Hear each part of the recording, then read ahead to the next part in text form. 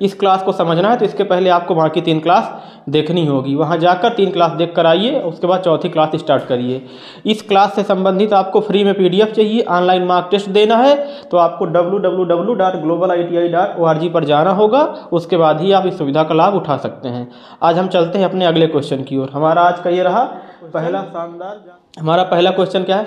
हमने पहले ही बताया पहली बात, कितना भी कठिन प्रश्न हो, घबराना नहीं है। जब प्रश्न आ जाए, आप सबसे पहले प्रश्न को दो बार, तीन बार पढ़िए। अंतर मन में सोचिए कि इस प्रश्न के बारे में या इस प्रश्न से संबंधित हमने कभी कुछ पढ़ा या नहीं पढ़ा। नहीं पढ़ा तो ज़ाहिर सी बात ही आपके लिए कठिन है। अगर पढ़ा है तो आपको प्रश्न पढ़ने के साथ ही आंसर दिमाग में घूमने लगेंगे। हमारा प्रश्न क्या है आज का? एल्यूमिनियम चालक को सोल्डर करने हेतु तो किस प्रकार के सोल्डरिंग फ्लक्स का यूज़ करते हैं। देखो, इस क्वेश्चन का की पॉइंट बोला है कि किस प्रकार के सोल्डिंग फ्लक्स का यूज़ करते हैं। तो ये कोई मैथमेटिकल फार्मूला नहीं है। इन चीज़ों को आपको सिर्फ़ जानना है। तो इसमें कौन सा यूज़ करते हैं? इसमें यूज़ करते हैं Carol light. Carol light flux का यूज़ किया जाता है एल्यूमिनियम चालक को सोल्डित सोल्डित करने के लिए। किस प्रकार के फ्लक्स का यूज़ करते हैं? केरल लाइट का यूज़ करते हैं। अगला क्वेश्चन है। अगला क्वेश्चन बोला है, पिघले हुए सोलर को बार बार पिघलाने के लिए क्या प्रभाव पड़ता है? What is the effect on molten solder due to repeated melting पिघले हुए शोल्डर को बार बार पिघलने से क्या प्रभाव पड़ता है? देखिए, हिंदी इन लोग की बड़ी अजीब लिखी हुई होती है। ये बोल रहे हैं, एक हमारा पिघला हुआ शोल्डर है। जैसे हम किसी सोल्डिंग सारन को लेकर किसी भी चीज़ को सोल्ड करते हैं, किसी चीज़ को जोड़ते हैं, उसके बाद वहाँ पे थोड़े बहुत हमारे सोल्डिंग आयरन के पार्टिकल पड़े हुए होते हैं। अगर हम चाहें उस सोल्डिंग आयरन जो पिघला हुआ है, एक बार मेल्ट हो चुका है, उसको फिर से हम पिघलाएँ, फिर से जोड़ने में ले लें तो ले तो सकते हैं, लेकिन उसकी जो स्ट्रेंथ है, वो घट जाएगी। कैसे? जैसे आपके घर में मिल्क होता होगा। मिल्क को आप बार बार बॉयल करते हो। जैसे मिल्क को बार बार बॉयल करते हो, एक बार मिल्क बॉयल किए, रख दिए, ठंडा हो गया। फिर आप गए कुछ देर के बाद उस मिल्क को बॉयल किए तो धीरे धीरे क्या होगा? मिल्क जो आपका होगा, क्योंकि मिल्क का एग्ज़ाम्पल इसलिए लिए हैं हम क्योंकि सब लोगों को यहाँ मिल्क से सब लोग परिचित हैं। आप जब बार बार इसको बॉयल करेंगे, जब बार बार इसको बॉयल करेंगे तो क्या होगी? इसमें मिल्क में वाटर कंटेंट होता है। बार बार जब करेंगे तो हर बार क्या होगा? वाटर हमारा हीट होगा और हर बार जब वाटर हम वाटर कंटेंट जब हीट होगा तो धीरे धीरे इसमें वाटर कंटेंट घटता रहेगा। एक ऐसी कंडीशन आएगी, हमारा जो मिल्क है, वो मिल्क पाउडर में कन्वर्ट हो जाएगा। बिल्कुल सूखा पाउडर बन जाएगा। तो क्या हुआ? जब हम वाटर को, जब हम मिल्क को बार बार बॉयल कर रहे हैं तो उससे वाटर जो हमारा कंटेंट है धीरे धीरे घट रहा है। धीरे धीरे घट रहा है। एक ऐसी कंडीशन आ जाएगी कि पूरा पूरा वाटर मिल्क से बाहर हो जाएगा और केवल क्या बचेगा? मिल्क पाउडर बचेगा। तो उसी तरीके हम देखें, बोल रहा है, पिघले हुए शोल्डर को बार बार पिघलाने से क्या इफ़ेक्ट पड़ेगा? Tin content is reduce. बिल्कुल सही राइट क्वेश्चन इसका पहला ही है, जो उसमें से टीन कंटेंट होगा, वो रिड्यूस हो जाएगा, घटता रहेगा। और टिन कंटेंट उसकी स्ट्रेंथ को बढ़ाता है, जब बार बार हम सोल्डिंग आयरन से जो हमारा पार्टिकल है, उसको बार बार सोल्ड करेंगे बार बार सोल्ड करेंगे तो क्या होगा, टिन कंटेंट उसका टिन कंटेंट उसका रिड्यूस हो जाएगा, बिल्कुल खत्म हो जाएगा। और उसकी स्ट्रेंथ भी बहुत वीक हो जाएगी, ऐसे सोल्डर सोल्डर ऐसे सोल्डर पार्टिकल का हमें रियूज नहीं करना चाहिए। कोशिश करना चाहिए कि हमारे पास पर्याप्त मात्रा में ब्रशेस हो साफ़ सफ़ाई के लिए और जो हमारी गन होती है सोल्डिंग गन होती है सोल्डिंग गन होती है, उसका यूज़ करें और जो है, उसके लिए आप पार्टिकल आँख के लिए आप चश्मा का यूज़ कर लीजिए या कोई ऐसी चीज़ को यूज़ कर लीजिए जहाँ पे हम बारीकी से काम कर सकें। हमारे जो सोल्डिंग का मटेरियल है, वो बिखराव ना हो और वेस्टेज में ना जाए। तो कोशिश ये करिए कि जितना वेल्ड करें, जितना सोल्ड करें। वेल्ड यहाँ गलत बोल रहे हैं, यहाँ पे सोल्ड करने की बात हो रही है। जितना भी हम चीज़ सोल्ड करना हो और जो हमारी सोल्डिंग आयरन हो, उसको बराबर साफ़ कर लीजिए। फ़ाइल आती है रेती बोलते हैं, उस पर आप जो है कुछ कुछ देर के बाद जैसे जैसे आप वर्क करिए, उसको साफ़ करते लीजिए, उसके सरफेस को बिल्कुल स्मूथ रखिए, ताकि जब आप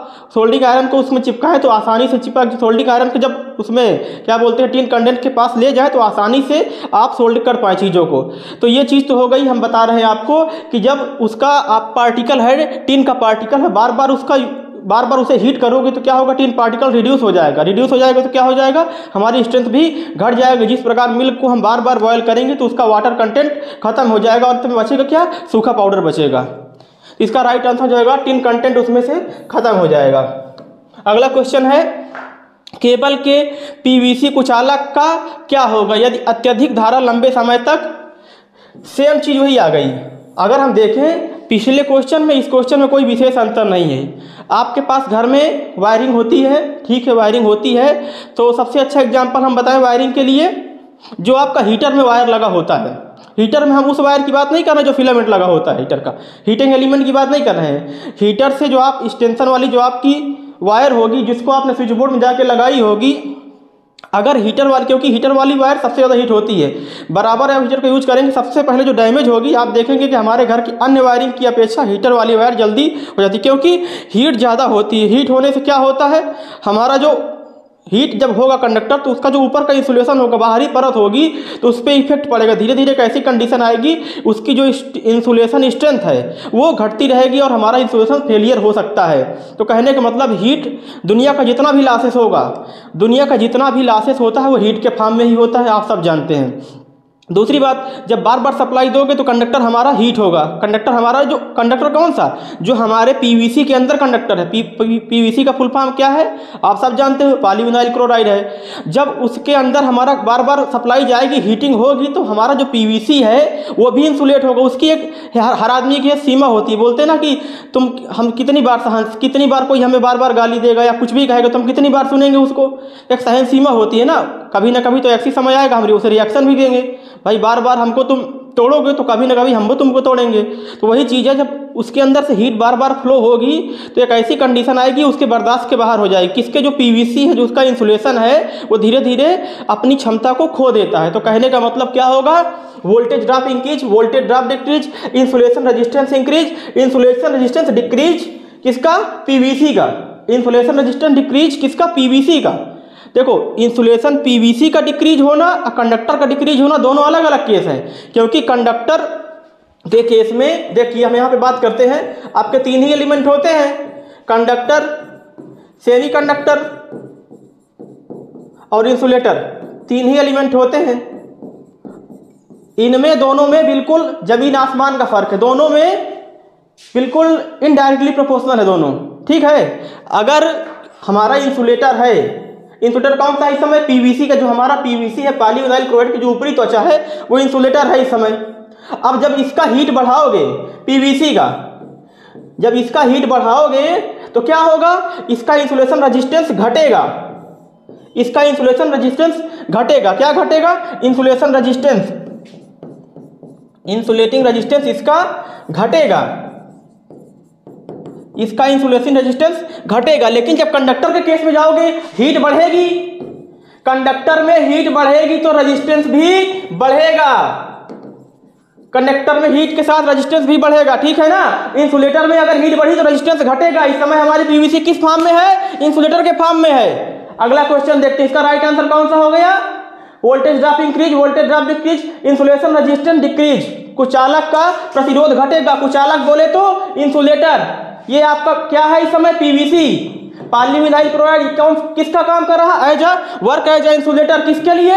जो हमारा केबल के अंदर कंडक्टर है। अगला क्वेश्चन अगला क्वेश्चन बोल रहा है which method of cable laying is suitable for congested area which method of cable laying is suitable for congested area congested का मतलब घनी हुई घनी हुई चीज़ों की जगह। बोला है केबल बिछा केबल बिछाने के लिए कौन सी विधि संकीर्ण?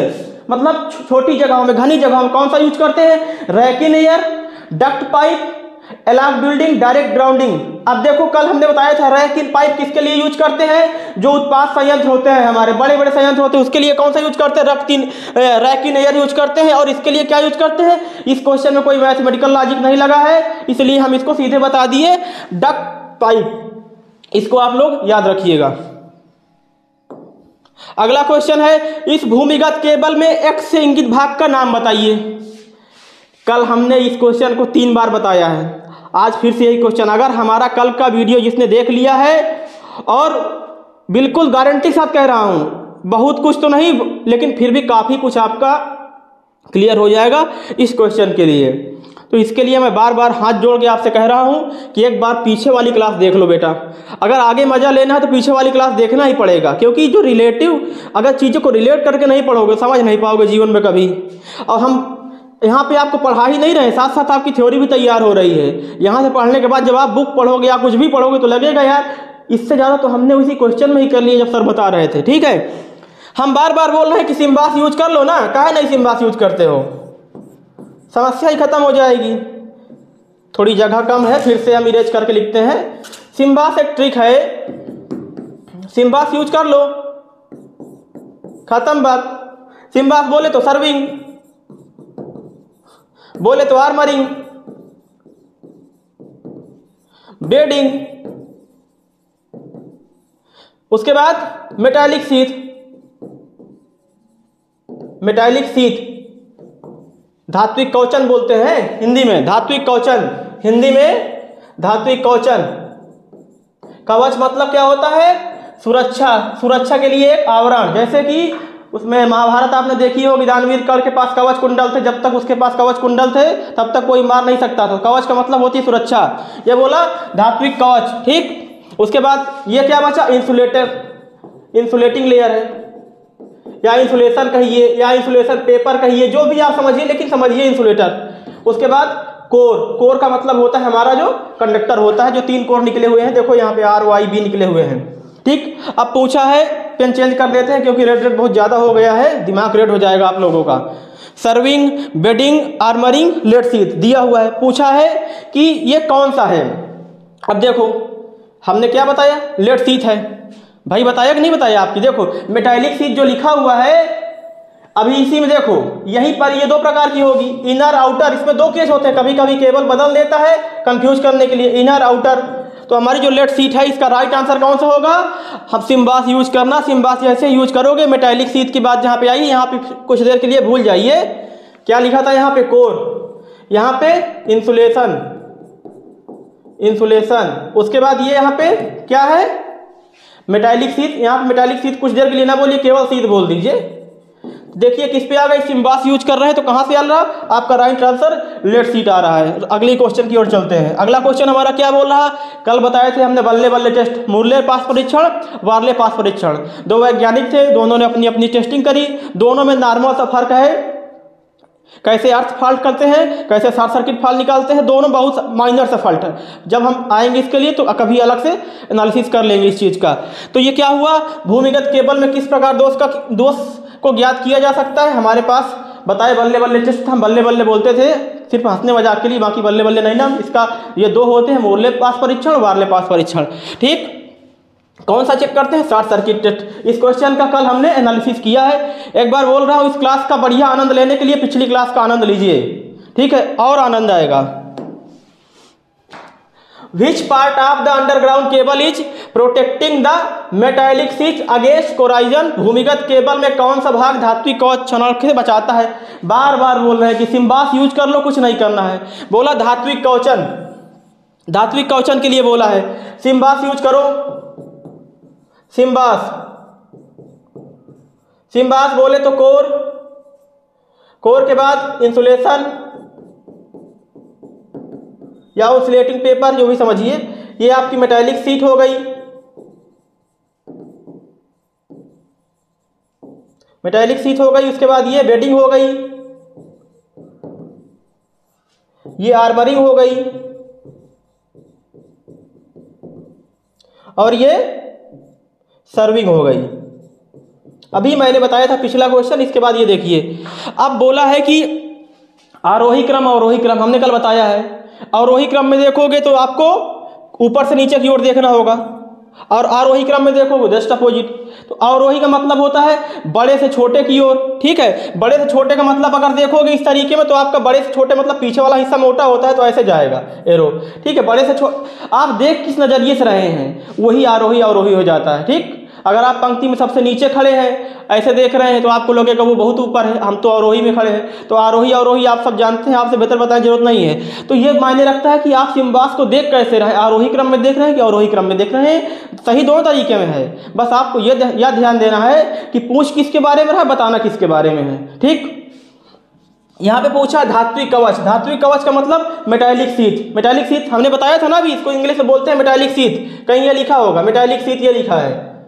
ये लिखा हुआ है मेटालिक सीट ठीक? क्या लिखा हुआ है? मेटालिक सीट मेटालिक सीट लिखा हुआ है, ये देखिए मेटालिक सीट लिखा हुआ है। अब पूछा है metallic sheath against metallic sheath के आगे धात्विक कवच को क्षण से बचाने के लिए कौन सा है? आर्मरिंग सर्विंग और कौन सा? आर्मरिंग सर्विंग और बेडिंग देखो एक बार बना के देख लेते हैं। Bedding armouring serving. देखो, ये दिया हुआ है आर्मरिंग और सर्विंग बेडिंग। देखो, इस समय हम दो चीज़ को क्लोज कर रहे हैं, लॉक कर रहे हैं। बेडिंग को मेटालिक सीट को। पूछा है, भूमिगत केबल में कौन सा भाग धात्विक कवच को क्षरण से बचाता है? अब इसको कौन बचाएगा? इसको कौन बचाएगा? जो इससे ऊपर होगा, वही तो बचाएगा। अभी केबल का फिगर हमने दिखाया इस क्वेश्चन के पीछे। देखो ये इस क्वेश्चन के ऊपर हमने दिखाया। आपका क्या था? सिम्बास यूज़ कर लीजिए, इधर से चाहे, इधर से यूज़ कर लीजिए। एक, दो, तीन, चार, एक, दो, तीन, चार, पाँच छः चार ये यहाँ पे आएगा छोटा सा। चार, पाँच छः छः को अगर हम मान लें सर्विंग छः को मान लें सर्विंग तो पाँच हमारा क्या हो जाएगा? सिम्बास यूज़ कर रहे हैं ना हम सिम्बास यूज़ कर रहे हैं तो पाँच हमारा क्या हो जाएगा? आर्मरिंग। पाँच हमारा क्या हो जाएगा? आर्मरिंग। उसके बाद बेडिंग आएगा। तीन, हमारा चार पे क्या आएगा? चार नंबर पे क्या आएगा? बेडिंग। चार नंबर पे आएगा बेडिंग। अब देखो, बेडिंग को सुरक्षा कौन देगा? बेडिंग को सुरक्षा देगा आर्मरिंग। क्योंकि बेडिंग नीचे है आर्मरिंग उसके ऊपर है। बेडिंग को सुरक्षा कौन देगा? बेडिंग को सुरक्षा देगा आर्मरिंग आर्मरिंग उसके ऊपर है। आर्मर्ड है। ठीक? बेडिंग को सुरक्षा कौन देगा? आर्मरिंग इसको सुरक्षा कौन देगा? तीसरे नंबर पे आपका मेटालिक सीट है, इसको कौन देगा? बेडिंग इसको सुरक्षा कौन देगा? ये देगा। इसको सुरक्षा कौन देगा? ये। ठीक? जो मैंने आपको आरोही अवरोही का सिस्टम बताया, आप उसे एक बार समझिएगा अपने पेन कॉपी पे लेके भाई। अगर देखने, आप देख लिए, समझ में आ गया, लेकिन अगर आप पेन से लिख लिए तो और ज़्यादा समझ में आएगा। तो कहने का मतलब यहाँ पे क्या बना? भाई, ये बोला है, चौथा नंबर आपका कौन सा है? बेडिंग का। पांचवा नंबर कौन सा है? उसके ऊपर की लेयर है आर्मरिंग का। तो बेडिंग को सुरक्षा कौन करेगा? आर्मरिंग इसका देखते हैं आंसर कौन सा दिया है? देखते हैं, चलिए। ये आया। हमारा ट्वेंटी टू बोला है मेटालिक सीट के ऊपर अच्छा ठीक है मेटालिक सीट के ऊपर पूछा है। मेटालिक सीट के ऊपर पूछा है। अब देखो, उसके पहले ही कौन सा है आगे? मेटालिक सीट तीसरे नंबर पे मेटालिक सीट है। इसको सुरक्षा कौन देगा? इसको सुरक्षा कौन देगा? बेडिंग देगा ना? ये आपकी मेटालिक सीट है। तीसरे नंबर पे आपकी मेटालिक सीट है। इसको सुरक्षा कौन देगा? जो इसके ऊपर होगा। इसके ऊपर क्या है? बेडिंग है। बेडिंग सुरक्षा इसको देगी कि नहीं देगी मेटालिक सीट को? इसका राइट आंसर हो जाएगा बेडिंग कौन सा दिया है? इसका राइट आंसर हो जाएगा मेटालिक सीट को सुरक्षा कौन देगा? बेडिंग क्योंकि बेडिंग जो है मेटालिक सीट के ऊपर है। तो इसका राइट आंसर बेडिंग हो जाएगा। अगला क्वेश्चन है सोल्डिंग आयरन का उपयोग ना करने के समय स्टैंड में क्यों रखना चाहिए? सोल्डिंग आयरन आप सब जानते हैं।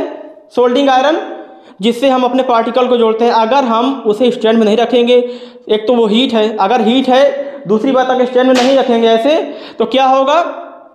हमारा जो टेबल है वो जलने लगेगा। टेबल का जो हमारा लेयर है स्ट्रक्चर है स्मूथ सरफेस है, वो ख़राब हो जाएगी क्योंकि वो हीट है। हीट में इतनी ज़्यादा क्षमता होती है, कुछ, किसी भी चीज़ को नष्ट कर सकती है। दूसरा, यदि स्टैंड में रखी होगी तो प्रॉपर वे में रखी होगी, ऐसे खड़ी होगी। तो पहली चीज़, अगर मान लीजिए उसमें किसी कारण बस कोई करंट या लीकेज भी आ रहा तो किसी को नहीं लगेगा। तीसरी चीज़, यदि कोई आएगा, अनजाने में ऐसे उठा लेगा तो उसका हाथ जल जाएगा।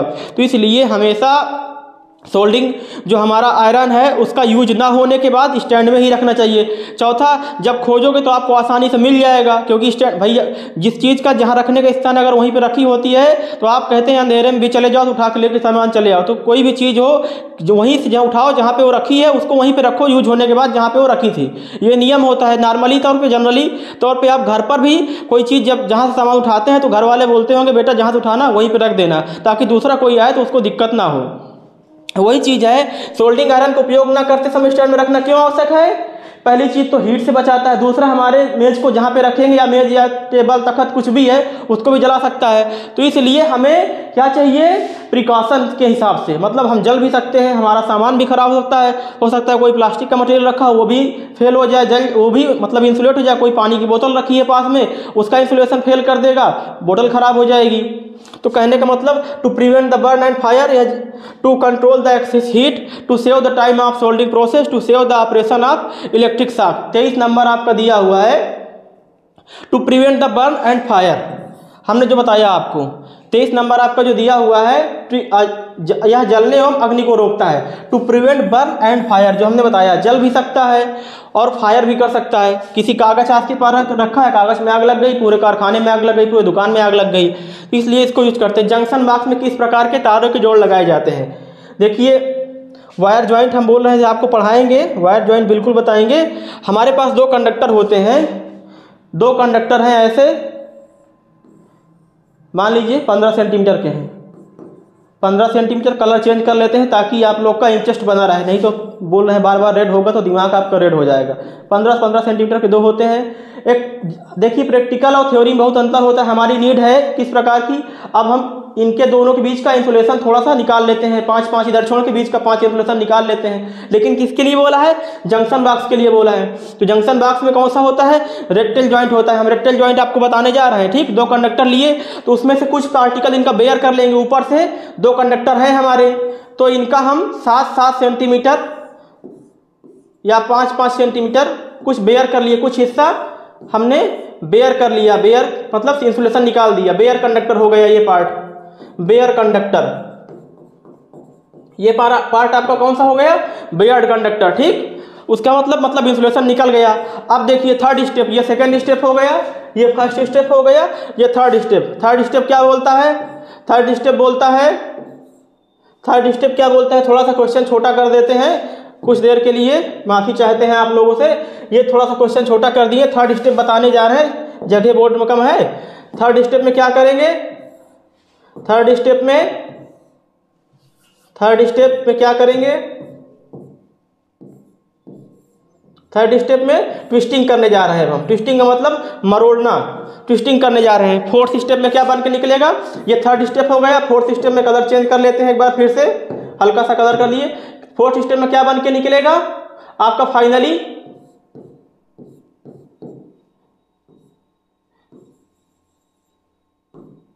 फोर्थ स्टेप में आप ऐसे इसको ट्विस्ट करेंगे तो जो फाइनल फाइव स्टेप निकलेगा पांचवा स्टेप बन के निकलेगा, या इसी यहीं पे कर देते हैं तो क्या बन के निकलेगा ऐसे आपका?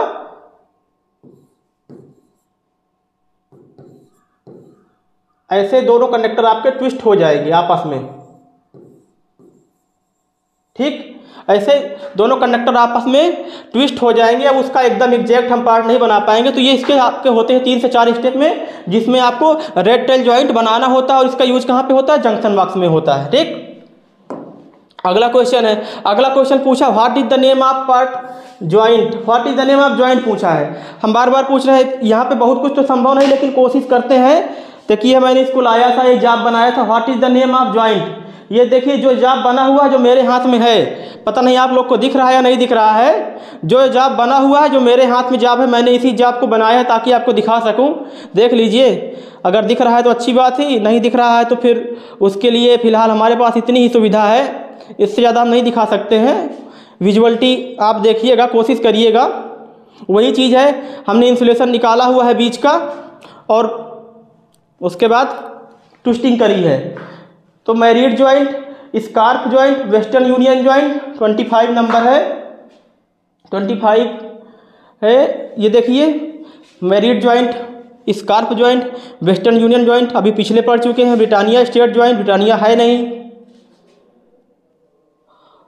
और स्कार्फ भी नहीं होगा, वेस्टर्न यूनियन, हमने वेस्टर्न यूनियन को कहाँ पे यूज़ करते हैं? जहाँ पे हमें लंबाई बढ़ानी होती है। और ये हमने क्या किया हुआ है? दो कंडक्टर को आपस में ट्विस्टिंग करी हुई है। देखिए मैरिड ज्वाइंट इसका राइट आंसर बनेगा married joint what is the name of the joint तो कौन सा होगा ये? मैरिड ज्वाइंट देखिए, इसका कंस्ट्रक्शन कैसे होता है? इस प्रकार देख लीजिए थोड़ा सा यहाँ पे इधर मेरा नाम लिखा हुआ है, इधर मत देखिएगा। ठीक है? ये देखिए, अगर आप लोग देख रहे हैं तो मैं एक दो चार सेकंड के लिए छोड़ दे रहा हूँ। आप लोग देख लीजिए मैरिड ज्वाइंट हमारा किस प्रकार का होता है। ठीक, अब चलते हैं हम लोग अगले क्वेश्चन की ओर। अगला क्वेश्चन हमारा कौन सा होगा? Twenty six. Twenty six question है अगला हमारा। ब्रिटानिया जोड़ का क्या उपयोग है? अभी जिसकी बात हो रही थी। Britannia Britannia stand in the length of line inside the and outside wiring installation Britannia T joint होता है, mechanical stress not required on conductor, tapping the service, connect from overload sero परी लाइन सेवा में जुड़ाव हेतु, tapping the service, control the from overhead line, सिरोपरी line से जुड़ाव हेतु जोड़ना। देखिए, जहाँ पे खिंचाव होता है और टाइपिंग होती है, वहाँ पे हम कौन सा यूज़ करते हैं? Britannia T joint. Britannia T joint हम आपको कल ज़रूर दिखा देंगे। आज तो हम लेके नहीं आए हुए हैं, भूल गए हैं। ब्रिटानिया टी ज्वाइंट मैं कल आपको दिखाऊँगा हर हाल में। जब मैं आऊँगा तो हर हाल में सबसे पहले दिखाऊँगा ब्रिटानिया टी ज्वाइंट कैसे होता है। Britannia T joint Britannia T joint का कंस्ट्रक्शन कुछ इस प्रकार बनेगा। कल अभी तो ये नहीं है। ऐसे रहता है कंडक्टर उसमें रहता है ट्विस्टिंग उसमें भी होती है कि जो बीच में फंसा दिया जाता है। अभी ये देखिए, पूरा मैरिड कर दिया गया है बीच में पूरा मैरिड नहीं करना है, इस कंडक्टर को थोड़ा सा फंसा देंगे तो बनेगा हमारा ब्रिटानिया टी जॉइंट ये ओवरहेड जो सिरोपरी लाइन होती है वहाँ जोड़ते क्योंकि वहाँ पर खिंचाव सबसे ज़्यादा होता है। अभी कभी आपने सैग पढ़ा हो सैग जो होता है, झूला जो बन जाता है, दो कंडक्टरों के बीच में जो तार हमारा नीचे आ जाता है स्ट्रेट नहीं रहता फॉरवर्ड मतलब क्षैतिज रहना चाहिए। वो ना रह करके क्या हो जाता है? थोड़ा सा झुकाव, झूला टाइप में हो जाता है। तो किनारों पे सबसे ज़्यादा खिंचाव हो जाता है। अगर वहाँ पे हमारा ये कंडक्टर टूट जाता है तो वहाँ पे हमें खिंचाव जहाँ पे ज़्यादा है सिरों पर लाइनों में जो, वहाँ पे कौन सा जोड़ लगाते हैं हम? ब्रिटानिया टी जॉइंट लगाते हैं। ठीक है? इस, ये, इसमें अभी मैं बताने की कोशिश कर रहा हूँ। कल मैं लेके आऊँगा, सबसे पहले ब्रिटानिया टी जॉइंट दिखाऊँगा आपको। इस कंडक्टर के बीच में फंसा उसके बाद ट्विस्टिंग करते हुए नीचे तक लाते हैं। ठीक? चलते हैं अगले क्वेश्चन की ओर। अगला क्वेश्चन है हमारा twenty seven twenty seven question है अगला। ट्वेंटी सेवन क्वेश्चन बोल रहा है। Which type soldering method is use for service and repairing work service and repairing work का मतलब ये होता है कि जैसे हमने मोबाइल खरीदी मोबाइल खरीदने के बाद वो एक साल की वारंटी होती है, या वॉशिंग मशीन खरीदी, या इंडक्शन खरीदा, कुछ भी खरीदा उन सब में, एक वर्ष की, दो वर्ष की पर्टिकुलर अपनी, उनकी एक क्राइटेरिया होता है, उसके हिसाब से वारंटी देते हैं या सर्विस देते हैं। सर्विस लाइफ टाइम हो सकती है वारंटी हमेशा लिमिट में होती है, दो वर्ष, चार वर्ष, एक वर्ष, कुछ भी होती है, लेकिन सर्विस वो कंपनी जो अच्छी कंपनी है सर्विस लाइफ टाइम देती हैं, लेकिन सर्विस में पैसे आपको देना होता है वारंटी में उसकी ज़िम्मेदारी रहती है कंपनी की। वो कभी कभी कुछ कंपनियाँ ये भी करती हैं कि पचास परसेंट जो आपका जो खरीदार है वो देगा, पचास परसेंट जो ग्राहक और विक्रेता दोनों फिफ्टी फिफ्टी रहता है वारंटी में किस किस किसी किसी केस में। वैसे मैंने देखा है मोस्टली केस में वारंटी में फ्री आप कास्ट आपकी सर्विस होती है, जो रिपेयरिंग होती है, उसके बाद जब सर्विस होती है, सर्विस लाइफ टाइम होती है, वो कंपनी सर्विस देती रहे क्योंकि आप उसके ग्राहक हो। सर्विस अच्छी रहेगी तो चार लोग को आप बताओगे, फिर वो भी सामान परचेस करेंगे। तो देखिए, उसके लिए बोला, देखिए जब वो वारंटी वारंटी है उसकी रिपेयरिंग करेगा सर्विस देगा तो वो ज़ाहिर सी बात है अच्छा ही करेगा। अपनी तरफ़ से कंपनी वही बोलते हैं कि गाड़ी का सर्विस जो है हमेशा एजेंसी में करवाना चाहिए, फुटकर दुकान जो खली हुई है, यहाँ पर नहीं करवाना चाहिए, क्योंकि इनके पास सिर्फ़ वो होते, क्या बोलते हैं हिंदुस्तान में चलता है जुगाड़। इनके पास सिर्फ़ जुगाड़ होता है, टेक्नोलॉजी नहीं होती। और जो आपके एजेंसीज होती हैं, कंपनी होती हैं, उनके पास, भाई वो उसी चीज़ की एजेंसी है उसी चीज़ की कंपनी है तो उसके पास, उसको पता है कि क्या क्या डिफेक्ट आ सकते हैं, भविष्य में क्या क्या रिपेयरिंग की नीड पड़ सकती है। तो पर्टिकुलर उस क्षेत्र के लिए वो काम कर रुखा, काम कर रखा होता है पहले से। कि अगर ऐसी फॉल्ट आएगी या कहीं खटखट की आवाज़ आएगी तो इस केस में कहाँ से हो सकता है? तो कंपनी जो इतना अच्छा बेस्ट आपको सर्विस दे देगी, एजेंसी जितना अच्छा देगी, उतना लोकल में आपको कोई नहीं देगा, ठीक है? वही बोला, अब जब उसके लिए करेगा तो कौन सा मेथड यूज़ करेगा? सबसे अच्छा मैथड यूज़ करेगा ना वो? बोला है किस प्रकार की सोल्डिंग विधि का प्रयोग करते हैं? Dip soldering soldering with flame soldering with soldering gun soldering with soldering iron. Soldering with soldering gun इसका राइट आंसर इसलिए हो जाएगा। Soldering with soldering gun gun इसलिए बोलते हैं, उसका आकार जो होता है कंस्ट्रक्शन होता है, बंदूक के तरीके होता है। और ये जो छोटे छोटे एरिया है, जहाँ पे हमारे हाथ जो आसानी से नहीं पहुँच सकते, ये उस उस पर्टिकुलर एरिया में भी पहुँच जाएगा। क्योंकि अभी मान लीजिए हम बहुत छोटी सी जगह है, एक सेंटीमीटर का स्पेस है, वहाँ पर हमारा उंगली नहीं जा सकती, हमारा हाथ पहुँच नहीं सकता है तो वहाँ पर हम सोल्डिंग गन से सोल्ड वहाँ पर जो है अपना प्रक्रिया सोल्डिंग गन से इसलिए करते हैं, ताकि अगर देखिए, वहाँ पर अगर हम सोल्डिंग गन को यूज़ नहीं करेंगे और हमें वहाँ पे सोल्ड करना है। तो इसके लिए हम क्या करेंगे? अगल बगल के जो हमारे मटेरियल लगे हुए हैं, हमारी जो पीसीबी है, उसमें कोई और इक्विपमेंट लगे हैं, उनको भी खोलना पड़ेगा। मतलब छोटे काम के लिए और दो दो चार बड़े काम वो भी करने पड़ेंगे। लेकिन अगर सोल्डिंग गन होगी हमारा तो बिना ज़्यादा समय बर्बाद किए हम सिर्फ़ उसी फ़ील्ड में काम कर पाएँगे, जिस फ़ील्ड में वास्तव में फॉल्ट है। तो इसलिए सोल्डिंग गन सबसे अच्छा है। किसके लिए? रिपेयरिंग के लिए। सर्विस देने के लिए सबसे अच्छा सोल्डिंग गन दूसरा, उसमें जो हाथों में कभी कभी आपने देखा जो जो सोल्डिंग गन करते हैं, उनका जो ये वाला जिस जिस जिस हिस्से का उंगली का इस्तेमाल करते हैं, वो हमेशा उसका कलर बाकी उंगलियों कलर से चेंज मिलेगा, क्योंकि बार बार उसमें हीट लगेगा बार बार हीट लगेगा तो ज़ाहिर सी बात ही नुकसान तो होबे करेगा। अगला क्वेश्चन अगला क्वेश्चन बोल रहा है डिप सोल्डिंग विधि का यूज़ डिप सोल्डिंग विधि का उपयोग क्या है? What is the use of dip soldering dip soldering method का बाबा, काहे गिर रहा है? डिप सोल्डिंग मेथड का यूज़ क्या होता है? डिप सोल्डिंग का मतलब हम समझे कि छोटी सी जगह या गहरी जगह मतलब छोटी जगह, संकीर्ण जगह। अब कब होता है? कभी कभी आपने देखा होगा, जो अच्छे इलेक्ट्रॉनिक्स के हैं या इलेक्ट्रोमैकेनिकल के हैं, उन्होंने या बेसिकली लगभग लगभग सभी देखे होंगे। पीसीबी का नाम सभी जानते हैं। प्रिंटेड सर्किट बोर्ड उसका फुल फॉर्म होता है पीसीबी पीसीबी बोले तो प्रिंटेड सर्किट बोर्ड पीसीबी बोले तो प्रिंटेड सर्किट बोर्ड ठीक? ये किस प्रकार होता है? इलेक्ट्रॉनिक्स के जो बच्चे हैं and gate or gate not gate का ये सब एग्ज़ाम्पल वो क्या बोलते हैं प्रैक्टिकल किए हैं, वो सब जानते होंगे। उसमें छोटे छोटे पार्ट बने होते हैं, सबकी अपनी बस बार होती है। ठीक? ऐसे ऐसे आप कनेक्शन कर सकते हैं। सीरीज़ में पैरलर में, जैसे चाहे आप, पूरा पीसीबी है ये। Printed circuit board PCB printed circuit board ठीक है?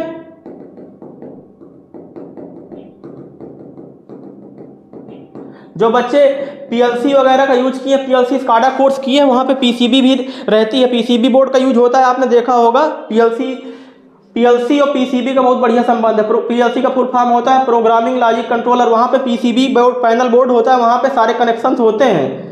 तो ये छोटे छोटे कनेक्शन होते हैं। अब इनमें डिप सोल्डिंग कर, इसमें हमें सोल्डिंग करनी है तो बताइए हमारा हाथ कैसे पहुँचेगा? बिल्कुल छोटे छोटे नॉर्मल बहुत से बहुत मुझे लग रहा है कि zero point two centimetre point ऐसे होल होता है, बहुत छोटा ज़ीरो पॉइंट ज़ीरो पॉइंट में इनका जो होता है, क्या बोलते हैं? याद नहीं आ रहा। सबसे छोटी इकाई क्या होती है? चलिए ठीक है। जो सबसे माइनर से माइनर क्या बताएँ आप? जैसे कि हमारे पेन का निप होता है, इतने छोटे से छोटे माइनर माइनर प्लेस होते हैं। वहाँ पे आपको जब सोल्डिंग करनी होती है तो वहाँ पे नॉर्मल आपका हैंड नहीं पहुँच सकता है। वहाँ पे नॉर्मल आपके जो नॉर्मल सोल्डिंग आ रहे हैं, वो नहीं पहुँच सकते। तो उसके लिए कौन सा मेथड यूज़ करते हैं हम? डिप सोल्डिंग डिप सोल्डिंग छोटे से छोटे जगहों में भी पहुँच सोल्ड कर सकती है। ठीक? सबसे ज़्यादा इलेक्ट्रॉनिक्स के फ़ील्ड में इसका यूज़ होता है। तो यहाँ पे कहीं दिया हुआ है pipe cable soldering soldering miniature compressor soldering sensitive electric components साफ़ soldering pipe and cable soldering PCB में छोटे भागों की सोल्डिंग ये दिया हुआ है। पीसीबी में छोटे भागों की सोल्डिंग इसका राइट आंसर हो जाएगा। अगला क्वेश्चन चलते हैं। अगला क्वेश्चन बोला हुआ है, मैंने आपको बताया था कि बेल्टेड भूमिगत केबल अभी वहाँ पर जो केबल पढ़ रहे थे, वो कौन सी थी? वो नॉर्मल केबल थी। अब ये बेल्टेड भूमिगत केबल के बारे में पूछ दिया है। इसके भी सबसे होते, देखो, ये जो है, ये जूट है। फिलर गेज के रूप में जूट यूज़ करते हैं। ये जो हमारा सब व्हाइट कलर का दिख रहा है, ये सीथ है। ये सीथ है, ये कोर। उसके बाद, इस तरीके इसमें भी आवरण होता है। देखिए, इस फिगर में से नहीं दिख रहा है। अगर आप गौर से देखेंगे तो तीन देखिए, दिखाया हुआ है। ठीक है? Jute filling cable armouring lead sheath paper insulation, यही बताया जो पूछा हुआ है इस एरिया का। किसका? ये कौन सा एरिया है? लेड सीथ है। लेड सीथ क्या होता है? एक प्रकार का इंसुलेटिंग मटेरियल ये भी होता है। ठीक? राइट आंसर, लेड सीथ अगला which insulating material is use as hard powering compound for making joint which insulating material is use as hard powering compound for making joint in underground cable कौन सा कुचालक पदार्थ भूमिगत cable में गर्म यौगिक यौगिक बोले तो कंपाउंड की तरह डाला जाता है? Polymer cast resin bituminous epoxy cast resin इसमें कोई बहुत अंतर नहीं होता है एपॉक्सी रेजिन और कास्ट रेजिन ठीक है? ज़्यादा बेटर होता है एपॉक्सी रेजिन बिटुमिनस, यौगिक, पाली। माइंड, ये भी नहीं यूज़ होगा, ये हो नहीं। इसका राइट आंसर होगा बिटुमिनस। बिटुमिनस यूज़ करते हैं कंपाउंड के रूप में। किसमें कुचालक पदार्थों में अंडरग्राउंड केबल में। जो हम कंपाउंड के रूप में कौन सा मटेरियल यूज़ करते हैं? बिटुमिनस कंपाउंड यूज़ करते हैं। ठीक है? ये रहे आज के हमारे शानदार धुआंधार पंद्रह क्वेश्चन सीरीज़ अगली क्लास में फिर से मिलेंगे। कल आपको बहुत सारे ज्वाइंट के बारे में बताएँगे। जैसे आपका ब्रिटानिया टी ज्वाइंट है, वेस्टर्न यूनियन ज्वाइंट है। कल की क्लास में सबसे पहले हम ज्वाइंट के बारे में आपको विस्तार से बता देंगे। अगर आपको इन जान, इस चैनल से जानकारी मिल रही है, आपको अच्छा लग रहा, आपको यह महसूस हो रहा कि जानकारी जो दी गई है, वो सही है, हमारे फ़ायदे की है तो उन बच्चों को भी पहुँचाएँ जो इस सुविधा से वंचित हैं। और इस क्लास का फ्री में पीडीएफ चाहिए, ऑनलाइन मार्क टेस्ट देना है तो आप बोले डब्ल्यू